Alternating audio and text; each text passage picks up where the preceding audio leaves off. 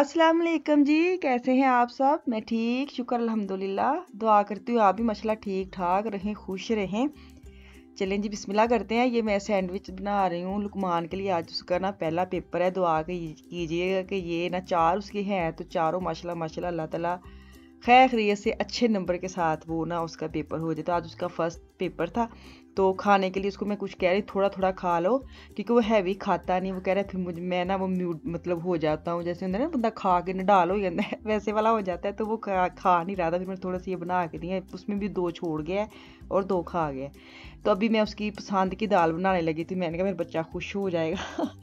दुआ कर रही अल्लाह ताला खैर खरीद रखे तो मसर बनाने लगी थी साथ मैंने रखे थे साग ब्रोकली मैंने ली है किलो ब्रोकली है और किलो किलो से कम 800 ग्राम मेरी पालक है। उसको मैंने इकट्ठे ना पानी ढेर सारा पा के उसको रखा था। साग पता है, जितना मर्ज़ी पके, जितना ज़्यादा पके, उतना ज़्यादा मज़ेदार बनता है।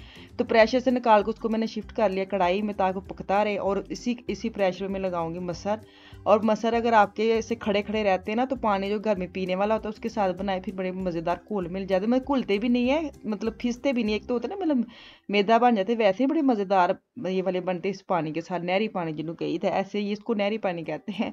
तो मैंने ना क्या किया, प्याज छोटा सा प्याज लिया और लहसन के कतरे डाले, टमाटर मैंने ऐड नहीं किया। और मैंने नमक मिर्च हल्दी डाल के प्रेशर लगा दी और साग को साथ साथ डोई चलाते रहना ताकि साग थल्ले लगे ना।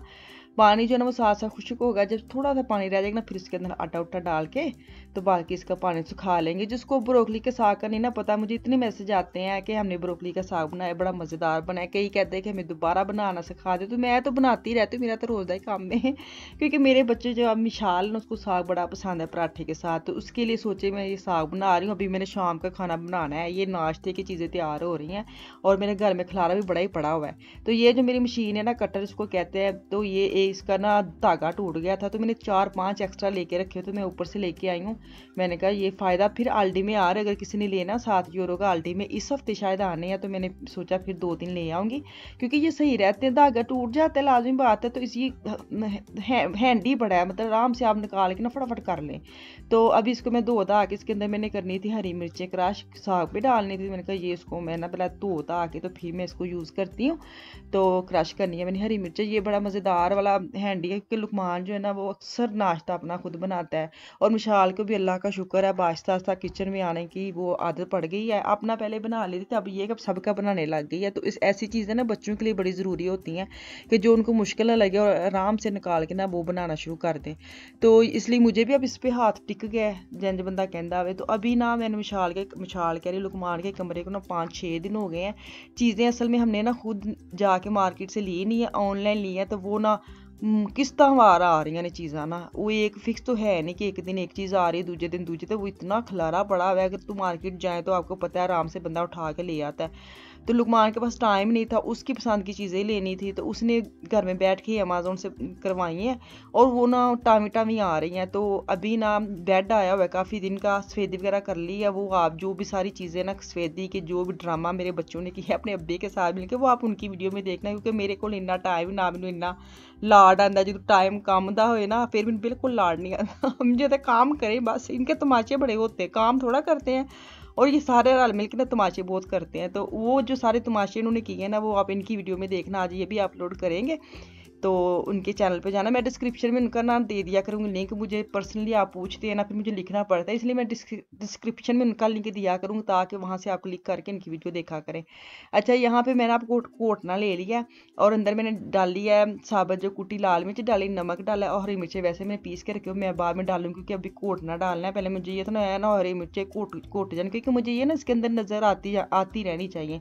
वो जंज कहते ना कि तेना प्यार बड़ा है, तू नज़र आंदा रहा कर। एंज मैंने हरिया मिर्चा प्यार है साग के अंदर कि बस उसकी नज़र आती रहनी कच्ची कच्ची नज़र आनी चाहिए। तो इसलिए मैंने एक दफ़ा एक्स्ट्रा पहले लगा लिया गोटा और अब हरी मिर्ची लगा के डाल के तो अब इसका मैं नमक वगैरह चेक करूँगी और मेरा ये साग हो गया डन थोड़ा सा और सिक्का लगाऊँगी, पानी जो ना अच्छी तरह खुश्क हो जाए ना तो ये देखिए जी, अब इसको मैंने शिफ्ट कर लिया क्योंकि नाल नाल में बड़े बर्तन जो है ना मैंने निकाल निकाल के शिफ्ट करती जा रही हूँ क्योंकि मेरा जो वो फ्लेम वाला हिस्सा है ना वो खाली हो जाए।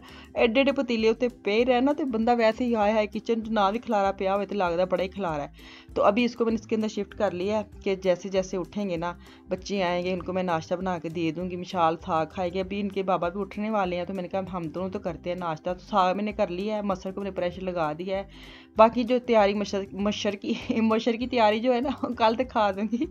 तो अभी ना, नाश्ता वगैरह कर लिया, सब घर आ गए अब मैं ऊपर चलेंगी क्योंकि अलमारी जो थी ना इनकी, अफा, लुकमान की, उसने ना चेंज करनी है। एक दीवार तो दूजी दीवार तो चुक के रखनी वो इन्ना कम लगता सी तो अभी ये देखे, बंडल बाँध के ना गंडा गंडा ही कही देगा ना मैंने बेडशीट ली है, दो बड़ी बड़े, उनके सारे कपड़े निकाल के ना बाँध के रखा ही और ये देखे तमाशे तन क्या ना काम थोड़ा तमाशे बहुत तो ये देखिए अभी ना यहाँ से अलमारी उठाऊँगी, ये जो सामने दीवार है ना, वहाँ पे इसको शिफ्ट करना है तो इसको मैंने खाली कर कर दिया मेरा काम इतों तक ही होंगे लेकिन फिर भी मुझे हेल्प इसके साथ करनी है, क्योंकि अलमारी का काम बड़ा लग रहा था औखा।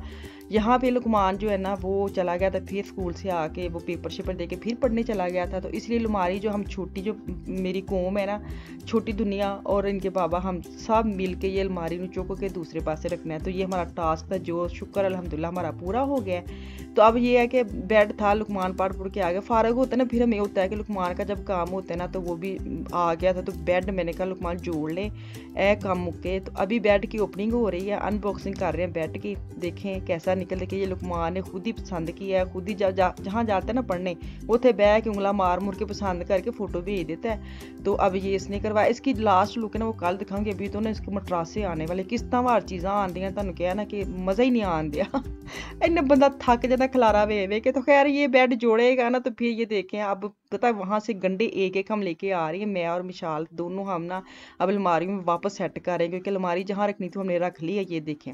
ये लुकमान की अब अलमारी सेट कर ली है। अफान की भी तकरीबन हो गई है। तो अब थोड़ा सा खलारा रह गया। अभी जो नहीं इन्होंने पहने थे वो मैं साइड पर कर रही हूँ और जो छोटे हैं वो भी साइड पर कर रही जो पहने वो मैंने सामने लगा। लुकमान है तो एक चीज़ ने फेंकने दी थी। जो सामने लगाए ना कपड़े, एक भी नहीं पहनता लेकिन उसने कहा था, मेरी चीज़ इधर से इधर ना हो तो अफान की मैंने बथेरी छांटी छुंटी कर दी है। तो ये देखें जी साफ़ सुथरा हो गया। मेरा तो काम शुक्र है। ये ऊपर मैंने बॉक्स लेके आई थी ना, ये जो मैंने जिप वाले रखे हैं तो ये अच्छे हैं, लेकिन अगर आप लोगों ने लेने हैं ना तो इसके अंदर जो लोहे के नहीं होते वो स्टे करने वाले, वो लेना, क्योंकि इसके अंदर लोहे वाले स्टिक नहीं निकले, इससे ना कपड़े डाल डाल के ना फिस जाते हैं। खैर फ़ायदा तो है, ऊपर ही बंदा कुछ और रख लेता है, लेकिन ये है कि वो खड़े नहीं होता ना, जैसे कि बॉक्स खड़ा होता है ना, वैसे वाला नहीं है।